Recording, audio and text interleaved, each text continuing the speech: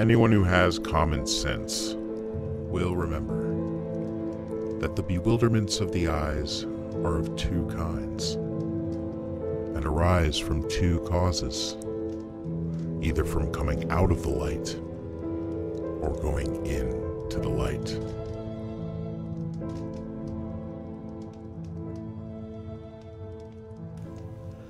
Oh, welcome, dear friends. Come, welcome and sit down here in the Cave of Inspiration.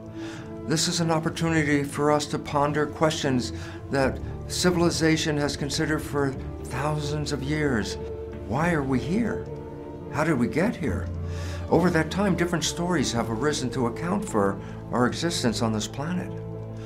The primary story that in six days a supernatural being created from nothing everything space, stars, planets, Earth, the story of creation. And about 150 years ago, a new story entered the realm of human civilization the story of evolution, provided by science. The story based on a Darwinian theory that evolution was driven by random accidents called mutations in the genetics of organisms when they reproduce. And that these mutations led to all the different species on this planet.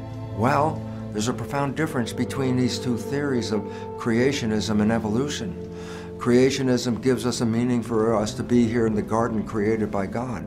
Evolution gives us a story that we're just here by accident. And if we're here by accident, then there was no purpose, there's no reason for us to be here. It was just random mutations that drove this process. And yet, I have a wonderful story to tell you tonight. A story of how polarities become unity, and in the process, how we move from antagonistic belief stories into a unified understanding that gives us a reason and a purpose to be on this planet. In the beginning, the planet Earth was comprised of inorganic chemistry, the non living chemistry associated with rocks, crystals, and minerals. And as it was spinning in space, the sun was sending a beam of photons that hit the surface of the Earth. And at that interface where the photons hit the inorganic chemistry, there's a reaction that alters the chemistry and creates an energized chemistry, energized by the photons of light from the sun. This is the source of the organic chemistry. In fact, the beam of light from the sun is an etching beam that etches the surface of the inorganic earth.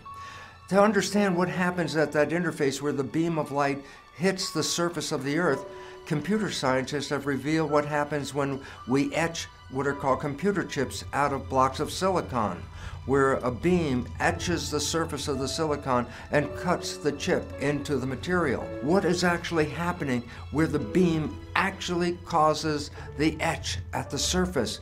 And what they found was when the beam hits the surface, it generates spontaneously a fractal geometry, a field of mathematics that relates structure and space. Relevance is profoundly important, and that is this.